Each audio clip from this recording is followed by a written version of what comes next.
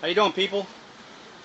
This afternoon we're going to show you how to unlock the VVT variable valve timing gear on an 06 Scion 1.5.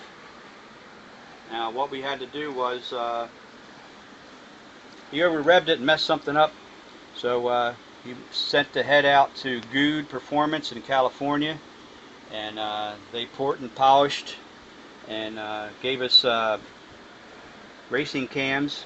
So the valve, uh, variable valve timing gear had to come off. So when it comes off, when you have to take it off, you have to unlock it before you put it back on.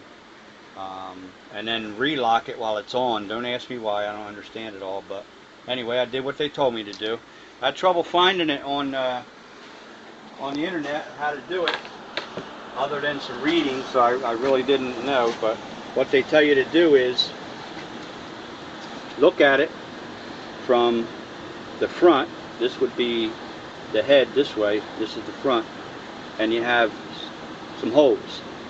Now, if these two holes, hole in this and the hole in that line up, then it's locked and you have to unlock it.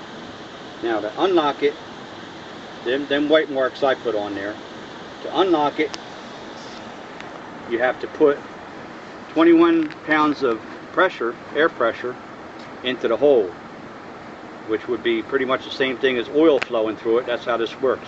Uh, a valve opens up and oil pressure actually uh, opens this up for you so it'll turn back and forth and, and vary your timing. Now, this little thing here, little elongated hole, 90 degrees from that, down inside there's a groove and there's a hole. I'm not sure if you can see it. Can you see it through your camera? Mm -hmm. My buddy Eddie's helping me out here. Um, what you do is you take this and you're going to turn it down and put it in the vise. But before we do that, I want to show you how to make a tool that's out of your way. Now, this is the tool that I made here and this will actually catch inside of them two grooves alright now this tool was made from this tool or one like it and this is something that you would tighten up uh, maybe a grinder or um, Dremel. Dremel, yeah, something like that. And then I had to grind down the handle to see how wide it is. It needs to fit down inside of that hole. And then I actually took, I got a cutoff wheel set up on my grinder, and I just went zip and cut off right here so that only this much would be sticking out and this thing would be barely sticking out so it wouldn't be in your way. Okay, and then that would go down inside of there and that's how you would turn it. Now you got to turn this after you get your 21 pounds of pressure in there. I used a little bit more. Um, I'll show you in a minute. But in order to turn this, you have to put something on the back of it. So what I do is I hold this with my finger here and I take vice grips and I put them in here and get them closest to the gear as you can, closest to the, the face so that it won't pull out and then you got it. So now you're set. Now we're going to put this in the vise with the hole down and on a little bit of an angle so you can see what you're doing. And we're going to clamp it in the vise. Okay, now this one's broke, but fortunately my nephew bought another head and it had the cams and timing gear and all that. And I unlocked that one and put it on the car. Now this is what I use to pressurize it. Air nozzle with a little rubber tip, little hole in it and you're going to put that because that hole is small. You're going to put that inside the hole. Now when you get it right you're going to pressurize it. You're going to feel this thing click. There's a locking mechanism inside of that. That's why you're using the air pressure to unlock it. This unlocks that locking thing and you hit it and you'll feel it, it go click click.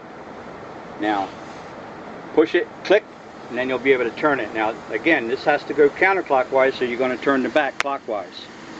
Okay? You turn it, and then you let off the air pressure, and it'll be locked. Now, I'll show you how you know it's locked. First of all, you'll feel it, because it'll turn. But I didn't unlock this one, like I mentioned, it's broke. I should have showed you on the one that I did, but I didn't have my accomplice here.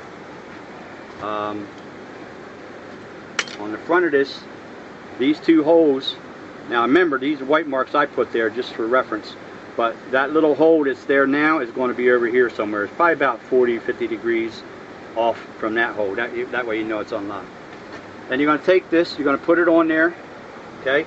But when you're putting it on, the book tells you to put the pin over here and then turn it till it drops inside that slot. You don't want it in that square slot, you want it in that rounded slot. That's the pin on the end of the cam.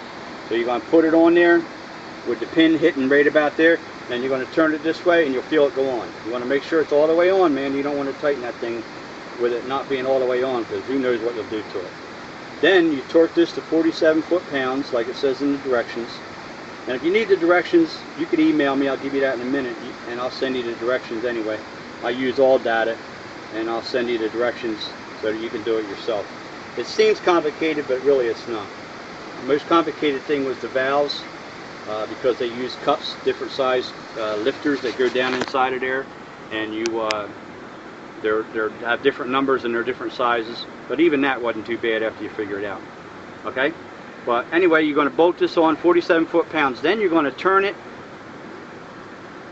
back so that these holes line up again. You won't be able to see that hole, but you'll feel it. You'll turn it this way, right? Because it's coming from that way, and it'll click. I'm not sure which way you turn it, but only way there's only one way you'll be able to turn it. And then after it's torqued, not before, after it's torqued and on there good, then you can turn it and you'll feel it click and it'll lock and then you won't be able to move it. Now don't ask me why you can't lock it and put it on there, but this is how they tell you to do it. So that's how you do that. And uh, you can reach me for questions on it. Because I, like I said, I had to find out uh, how to do it and then do it. And then I want to show you guys because there's nothing on YouTube about it. Really nothing on the internet that tells you how to do it. Um, so here you go. My email is Wydranater. It's W Y D R A N A T E R, Wydranater at Verizon.net. Again, W Y D as in David, R as in Robert, A as in Apple, N as in Nancy, A T E R. Did I say that right? Is that good? Okay, Wydranater at Verizon.net. Just shoot me an email. I'll get back to you. I'm always on the internet and uh, help you out because we need to get rid of these dealers. It'd be nice if we could do all our own work because they charge too much.